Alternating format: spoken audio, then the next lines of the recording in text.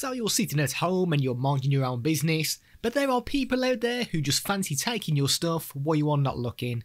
And today we are looking at the Netvue Sentry Pro CCTV camera to see if it would be a good choice to deter this from happening in the future. This product has been sent to us by Netvue, but it will in no way influence the review. In the box we have four screws and wall plugs, a weatherproofing tube, a drilling template, the power adapter, the quick guide, and a thank you card with the option of getting 12 months of free cloud storage. And we have the Netvue Sentry Pro PTZ security camera. It is 3 megapixels and it has 10 infrared LEDs on the front. It has a night vision range of 50 feet and it has an inbuilt microphone and speaker for two-way audio. It can be set up through Amazon Alexa, so for example if you say Alexa, show me outside, it will be displayed on your Echo Show. You can connect this through wireless or ethernet connection. The wireless antenna is quite long and the unit itself is quite bulky, so it's going to be obvious that you've got this installed. It stores footage either on the cloud and this will charge you, or you can save locally onto a microSD card which is located on the head of the unit. And this footage can be viewed through the Netvue mobile phone app which is compatible with both Android and iOS. The head can be rotated horizontally 360 degrees and 160 degrees vertically and this is controlled directly through the app.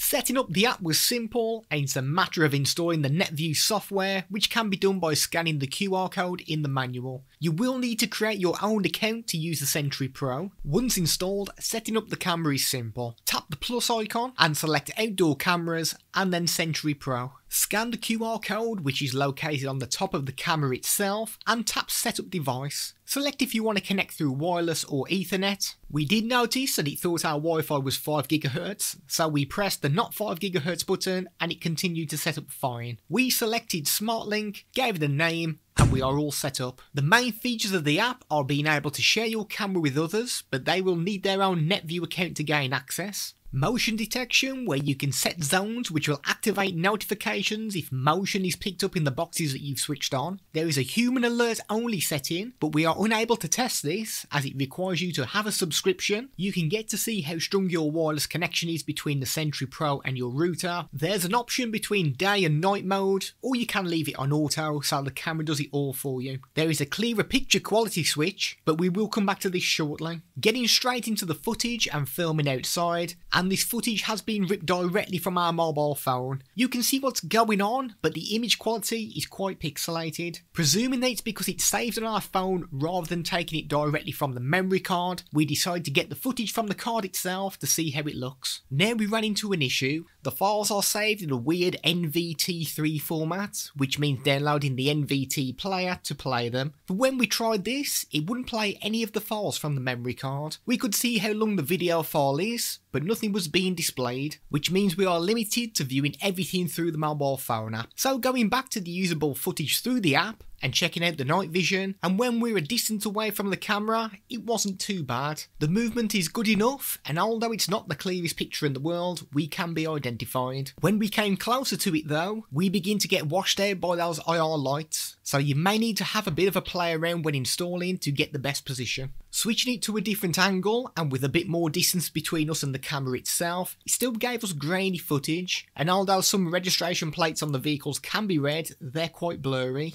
And if you're trying to catch moving vehicles plates, then you will need this camera to be positioned much closer than what we are. The night footage again is grainy, but you can make out what things are and the movement isn't too bad. There is ghosting on us when we are moving around, and you can see us by the cars, but it would be quite difficult to identify someone if needed due to the fuzziness of the picture. Now all this footage is currently being shown in H.264 format, but if we enable the clearer picture quality, then this switches it to H.265 which should give a higher quality picture, but there is a warning saying that some mobile devices may not be able to support this mode, and it turns out our mobile phone is one of those that is not supported. And the issue we had is that it would play around 2 seconds of the footage and then it froze, although the audio comes through the microphone and continue to play. But comparing the screenshot of the H264 and the H265 doesn't really show an improvement in quality to us. Moving the Sentry Pro to another position where we are very close to it, and this is the best quality picture that we're going to get. It still looks quite pixelated, but you will be able to identify people from this range. Moving the head using the app works well, but it is worth mentioning that tapping it to move will make it move in increments, so you won't be able to fine tune it if needed. Motion alerts perform well in the app, and it will send you a notification and a screenshot to let you know what it's picked up.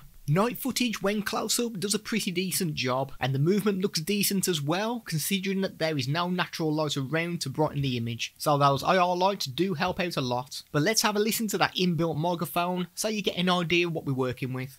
This is a quick audio test. We are roughly about a foot or so away from the camera. We will continue speaking and we will move further away so you get yourself a bit of an idea of what kind of range you can get. So that was roughly around probably 10 feet, 10, 15 feet away. So this is the kind of audio you can expect to get picked up through the microphone. The QT light has just gone off as well, so you can now see us in our full glory in night vision. This test the on the This is audio you can expect.